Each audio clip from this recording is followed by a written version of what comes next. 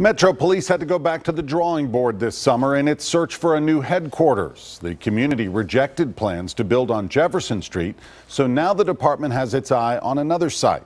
News Channel 5's Chris Cannon is live at the Criminal Justice Center. And Chris, police say their time is limited.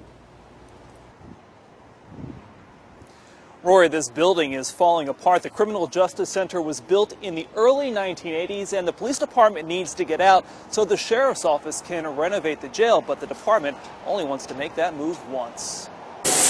We've kind of been the leader in the forefront of bringing technology to the sign industry. It takes a lot of time and skill to make one-of-a-kind signs. They still craft each one of them by hand at Joslin Signs. We've got a lot of high-tech equipment here. The company moved to South Nashville 15 years ago. We've had a rough go on Murfreesboro Road over the years. Owner Bobby Joslin feels the area is turning around. People have no clue how close we are to downtown. He sees the stalled police headquarters plan as an opportunity for Murfreesboro Road. When I saw the Jefferson Street collapsing, I reached out to some of our neighbors around here, the business community in Trevecca, and it was like, yeah, man, Bring it on. We could use something of that magnitude here.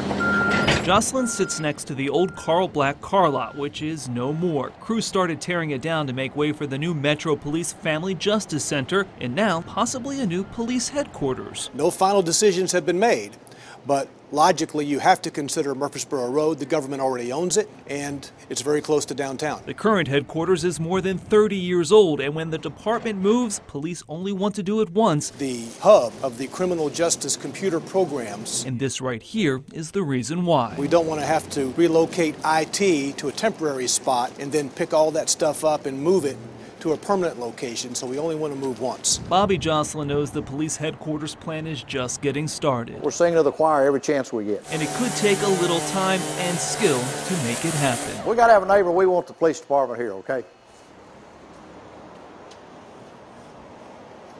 And a spokesman for Mayor Megan Barry's office confirms that there are discussions to move the police department to Murfreesboro Road, but discussions about other locations as well. He did stress, though, nothing is in the works right now, and nothing will happen until there's plenty of community input and, of course, Metro Council's approval.